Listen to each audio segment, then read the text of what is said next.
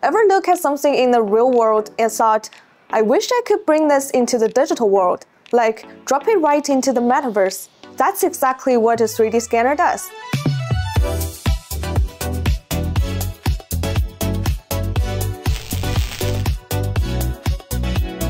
Hey guys, I'm Mia from Shining 3D, and today we're kicking off the very first episode of 3D Scan 101.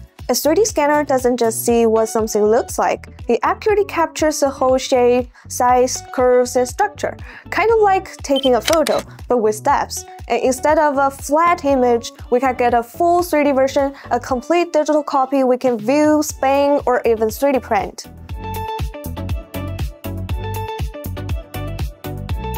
A 3D scanner doesn't just snap a photo. It actually projects lights onto the surface, could be laser lines, shift patterns, or tiny dots. Then it watches how the light bounces back, picking up every curve, dent, and angle.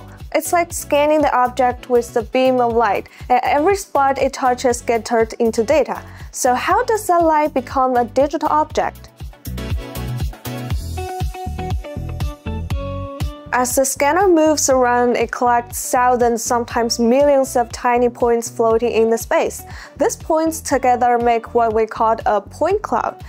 Think of it like 3D pixels hanging in the air. The software then connects the dots, fills in the gap, and turns that cloud into a solid, detailed 3D model. So why scan in 3D? The uses are everywhere. In car customization, it helps recreate old parts and design custom upgrades inside and out.